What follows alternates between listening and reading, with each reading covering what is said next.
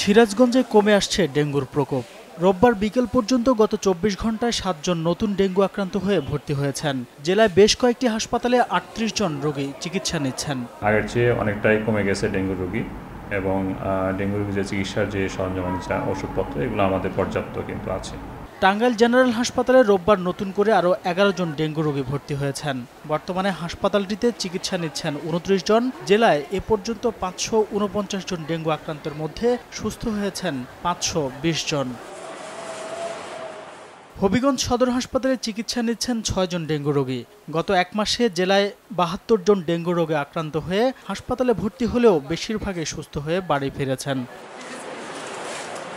Munshiganj general হাসপাতালে dengue রোগীর সংখ্যা কমে দাঁড়িয়েছে তিনজনে। জেলায় রোববার বিকেল পর্যন্ত কোনো নতুন ডেঙ্গু রোগী ভর্তি হয়নি। এছাড়া কিশোরগঞ্জ, চাঁদপুর সহ দেশের বেশিরভাগ জেলায় ডেঙ্গু পরিস্থিতির উন্নতি হয়েছে। আবনমান সময় সংবাদ।